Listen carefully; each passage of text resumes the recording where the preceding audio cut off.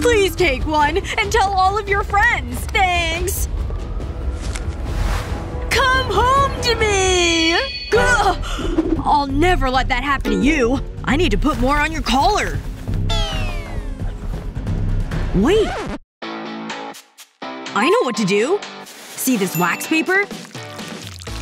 Use hot glue to make a glob in the middle. Then add a paper dog tag.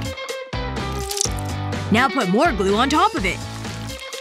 Don't be afraid to really pile it on. Now just let it dry, and put another wax paper piece on top. Press it nice and tight.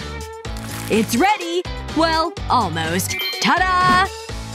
It's perfect! Attach it to a carabiner. Now you can put it on the collar. Now you'll never leave me.